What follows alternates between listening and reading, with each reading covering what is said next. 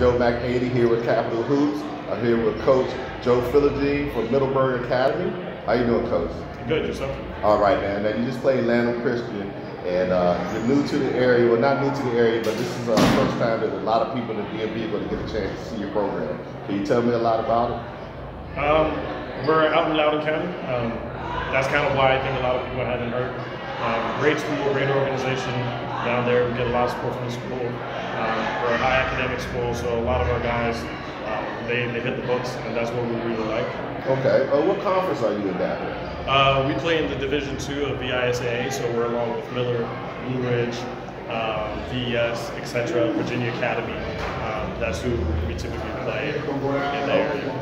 Okay, well, uh, after I saw the program, I wanted to make sure that you start trying to come up in the area and start playing some of the teams in the DMV. I'm gonna make sure that we try to get you set up to play someone here next year. Definitely. Okay, so glad to have. Oh, I'm sorry. Can you tell me about some of your players' performances today? Um, Isaiah had a really good game. Isaiah Phelps um, had a good game. Jaden House started off a little bit slow, picked it up in the second half. Kevin started off started a sophomore really strong, had 11 in the first half.